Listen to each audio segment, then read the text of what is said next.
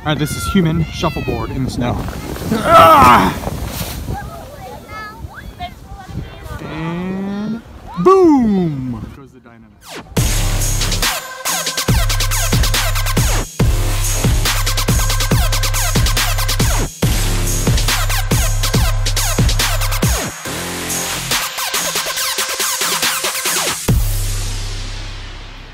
Hey, what's up and welcome back to the Nerd Bar. This is all of my Masters of the Universe. I gotta shut this door. Hey, what's up? Welcome to part two of my toy haul. This is all of my other stuff. Masters of the Universe Classics, Mezco, a couple movies which I want to show you. Check out part one, which was the last video, which went over all my Transformers, all my bots, all my Joes stuff, but let's get right into this. First things first before we get into the figures, I wanted to show you a couple movies that I found at Walmart. And these are just very, very awesome looking movies. They're both Blu-ray movies of old movies from the 80s, but the packaging is what sold me on these. I don't have either of these movies, so it was an easy pickup for me. But look at the packaging on this. This is Young Guns, the Blu-ray for Young Guns. Look at that. It looks like a VHS tape that I'm literally pulling out, the cassette, from the VHS tape carton. This is the coolest packaging I think I've ever seen in a Blu-ray. That is so awesome. And this is a good movie, by the way. Young Guns. If you haven't seen Young Guns, check it out. It's a great movie. And then the other movie that I got is First Blood. Stallone. Bam! And then you can also do this right here. This is a good thumbnail, but I'm not going to use it. But it looks like a VHS tape being pulled out of a VHS, like, box. So freaking original of an idea. I love it. And they have lots of these movies there. They even have like recent movies. They had John Wick on Blu-ray, the first John Wick, in this kind of packaging where it looks like it's like a VHS tape. So cool. I just wanted to share that because I honestly haven't seen anything this cool as far as Blu-rays in a long time and I really liked it. You know, steelbooks are cool, but originality is where it's at. Let's get into the figures. All right, we're gonna start with the Masters of the Universe Classics figures first. Got a couple of these from Big Bad Toy Store. Got a couple of these from uh, Toy Department.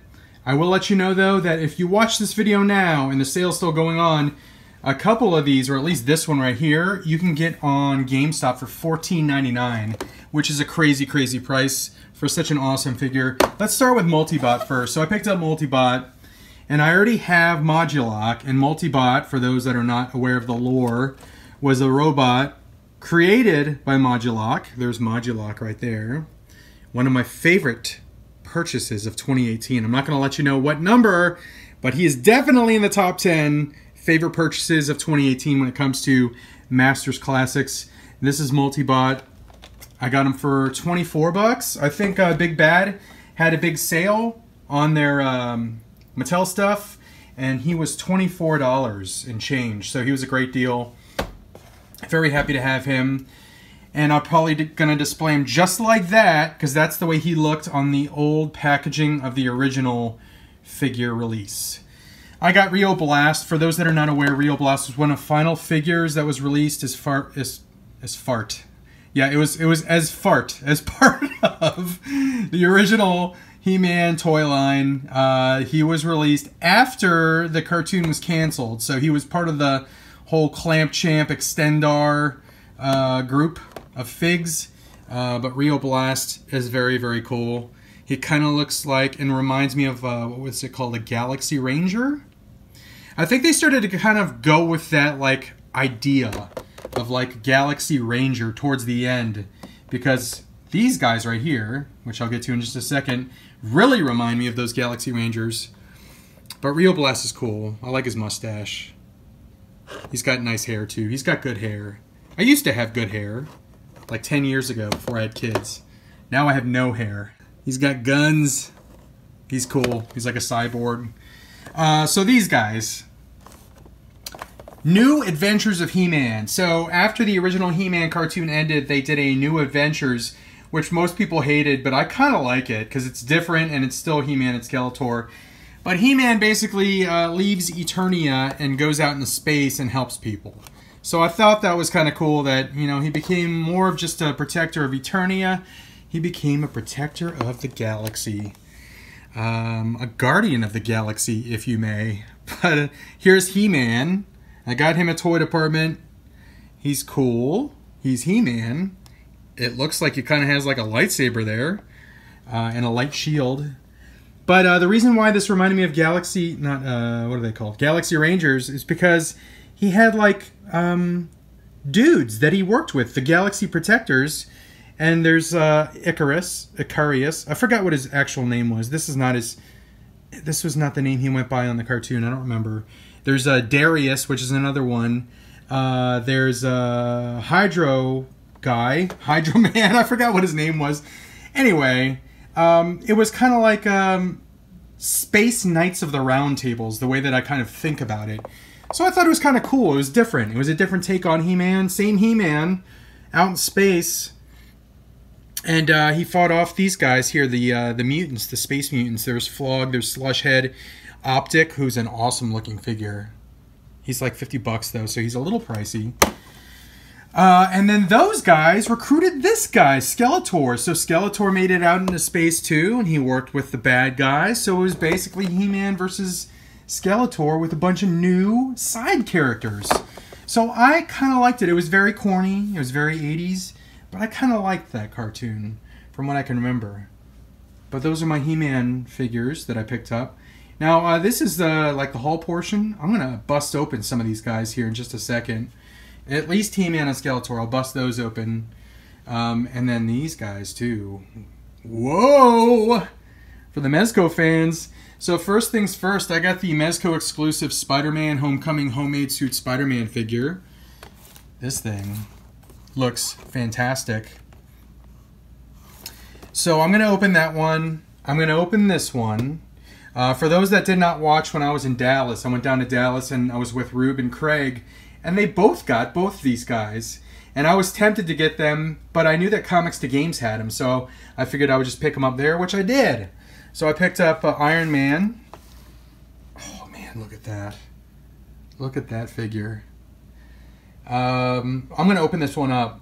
I'm definitely gonna open this one up and show you what it looks like out of package. And I got Popeye, and I loved Popeye when I was a kid.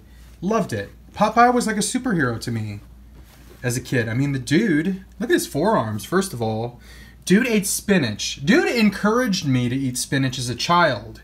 That's how much I liked Popeye. So I loved the uh, Robin Williams movie. I loved the cartoon. I would watch the cartoon all the time. Uh, I distinctly remember watching like Popeye and Looney Tunes, Woody Woodpecker, Bugs Bunny, all those cartoons and just loving it. Just loving life as a child. But uh, yeah, I got Popeye. So I'm going to take him out of the package. Wonder why he comes with so many pipes. Those pipes look identical.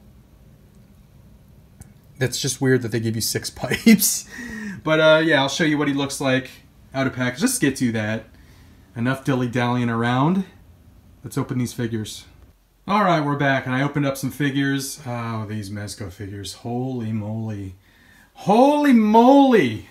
Mezco, you got me. Anyway, let's get to let's start with the uh, He-Man figures first. So I opened up the He-Man and Skeletor from New Adventures.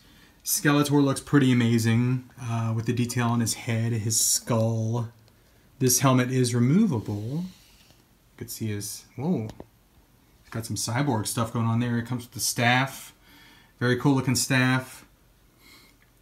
Yeah, it looks like uh, he's all cyborged out.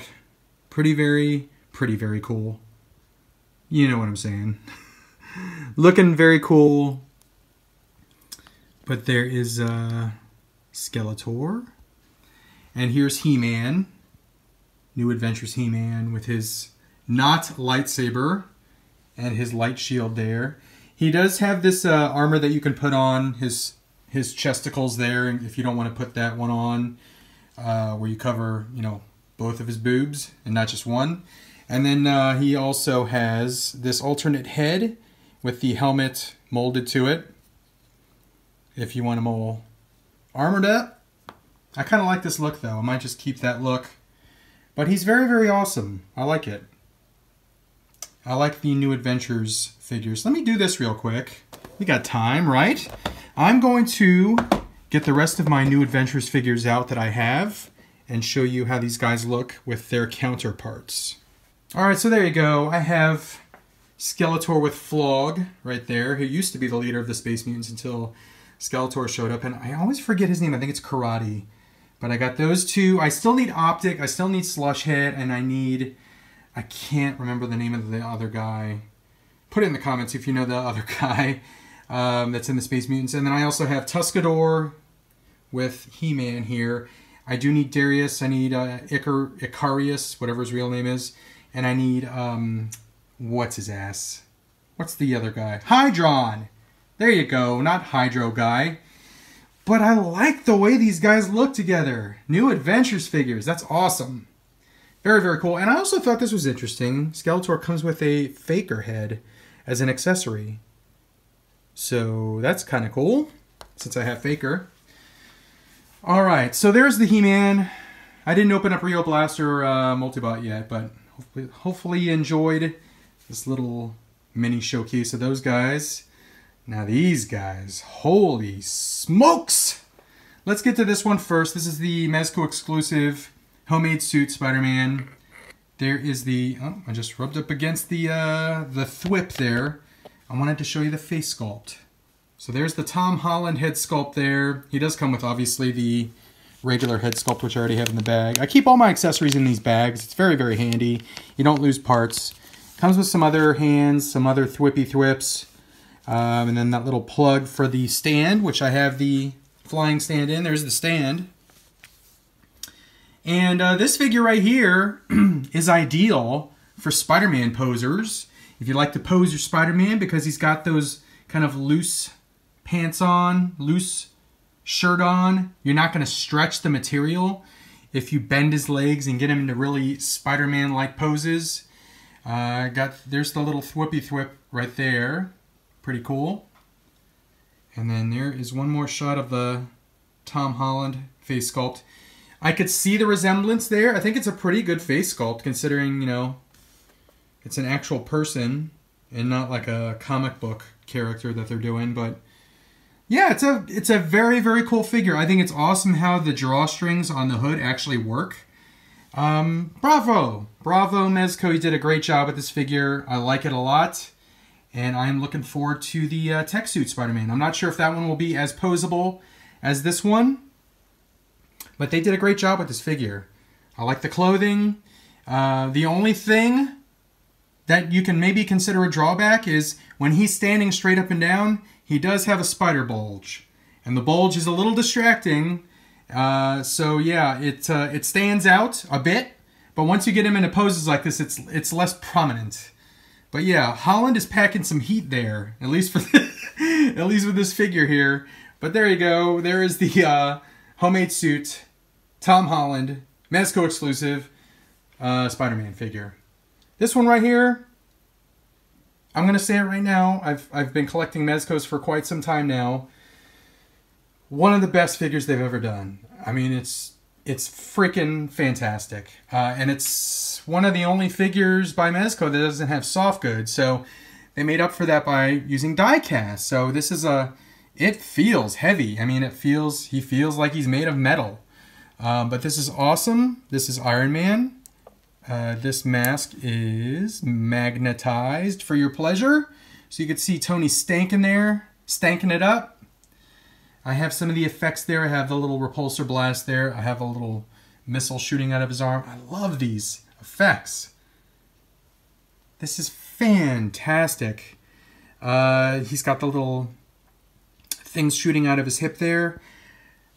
Uh, and then I have the little repulsors in his feet. This is, um, I'm going to go out on a limb here and say that removing Hot Toys from the equation this is probably my favorite Iron Man figure ever produced. Any toy company, um, I'm probably going to get people disagreeing with me, but uh, this is my favorite. I'm not saying it's the best, because obviously everything is subjective when it comes to these things. It's my favorite Iron Man figure ever produced. So that is a glowing, glowing endorsement of this figure. If you're thinking about it, don't hesitate. Uh, once people catch on how amazing of a figure this is, it's going to sell out and you don't want to pay secondary market prices. So go find this figure. It's 80 bucks now, I think 80 or 90, 80 I think. It's amazing. It's amazing. I haven't even put the batteries in, but his chest does light up. This is a great, great, great Iron Man figure. So don't pass this one up. And then we got this guy, Mr. Popeye. Absolutely love this figure. I love the face sculpt. I love how different it is of a Mezco figure. You know, you think Mezco, you think superheroes, you don't typically think about Popeye, but uh, I really, really, really love this figure. Uh, these two right here, Iron Man and Popeye, I still, I really like this, um, the uh, Spider-Man. These two right here, easy, easy contenders for favorite figures of 2019, and we're what? Half of a month into the year. So it's going to be tough for figures. I mean, this is basically the bar right here. This is not Sheamus and Cesaro. This is Iron Man and Popeye Mezco. This is the bar being set for 2019. So, as far as I'm concerned, they're in for top 10 of 2019. Now it's uh, other figures that just need to try and compare to it. So, uh, Mezco killed it with these two figures. But there's Popeye. Look at the face sculpt on that. Absolutely amazing. His head's magnetized, so you can put these different hats on. See, there's a magnet in there. He's got the little sailor cap. He's got the um, the uh, beanie, I guess, and then he's got this one right here. So he's got three different hats to choose from, two different heads. Um, what's that thing called? Not a binoculars, a telescope. I don't know. I feel stupid right now that I can't think of the name of that thing. It's got that. It's got a compass. It's got a can of spinach not opened. Uh, multiple hands, multiple pipes. Dude likes to smoke pipes. And then uh, there's the uh, can that he's crushing. Crushing the can, about to eat the spinach, about to lay the smackdown on. Um, I always confuse his name. Is it Bluto or Brutus? I think it's Bluto. But uh, can we get a figure of him, please? I don't need an Olive Oyl. Uh, a Wimpy would be funny, but a Bluto would be an amazing figure to go along with this Popeye. So there you go. Um, there's the figures. There is uh, two amazing, amazing figures. I 100% recommend these guys. I'm that confident that you'll love these figures. If you if you collect Mezcos, and you haven't picked these two up, you gotta get them. They're so good.